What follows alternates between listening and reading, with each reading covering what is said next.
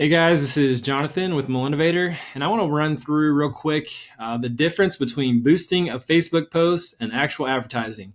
You have a lot of people out there doing uh, business stuff on Facebook, whether that's trying to promote their own business or managing a business page, and they say, "Yeah, we're advertising on Facebook," when in reality, most of them are just boosting a post. So I want to run through real quick what the differences are and why actual advertising is probably a better uh, solution for your business. So we're on our Facebook page here for Millennovator, and I'm just going to type in a quick, ooh, hello.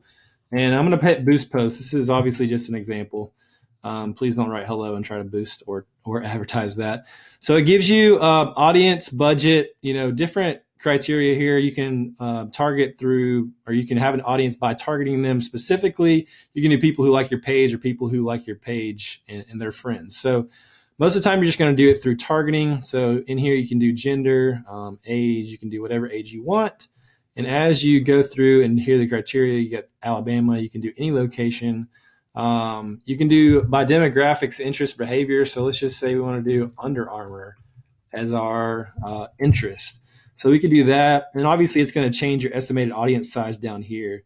And so we'll just hit save um, and have your budget, how much you want to spend per day. And then based on your budget and your audience, they're going to give you an estimated reach per day. And then what's the duration of your boost? So that's pretty self explanatory. Here you would hit set budget and it would just take you through and start boosting that post. It's pretty self uh, explanatory, pretty simple. Um, what that's going to do, the, the, the good thing about a boost is that it's going to get in front of people. It's going to get your brand in front of people. It's going to get, you know, if you put a link to your website on there, it's going to get that in front of people and it's just going to get in front of a lot of people. The bad thing about a boost is that that's all it's going to do is get in front of a bunch of people. There's not really going to be any action taken by the Facebook users who see your boost. And we always want to prompt our potential customers to do something. We want to, we want to prompt action. So I'm going to take you through real quick um, what Ads Manager and what an advertisement would actually look like. So here is Ads Manager for um, someone that we work with.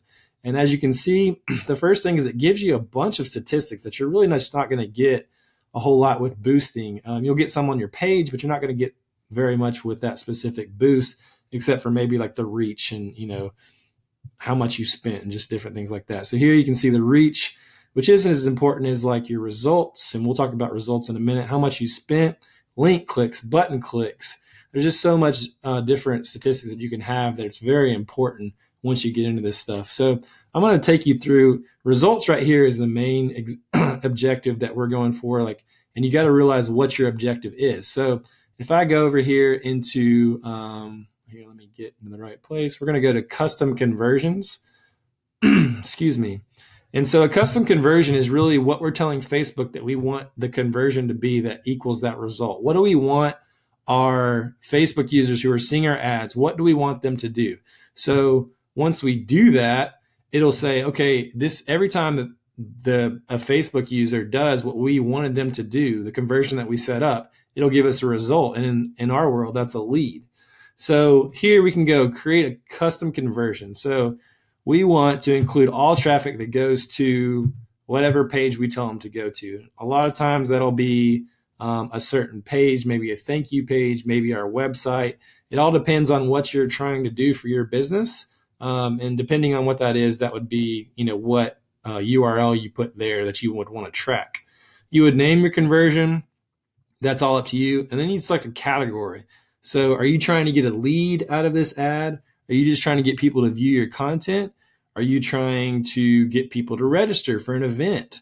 Are you trying to get people to make a purchase? So these are all very customized conversions. As you can see, it's called custom conversions that we're trying to set up. And let's say you wanted to do a, a purchase. Well, you can put a, a value in there. So if you're selling something that's 50 bucks, you can put a conversion value of $50. So that that way Facebook automatically adds all this stuff up so you don't have to. And it knows out of your conversions that you've had, out of your results, how much money that you've made from that. So this right here, guys, is the main difference conversions. And you're all going to do that through the Facebook Pixel, but that is going to be in one of your next emails to come. I just wanted to tease that real quick for you, but that's going to come here very soon. I hope you enjoyed this And if you have more need for more information, please let us know and please stay tuned to these emails.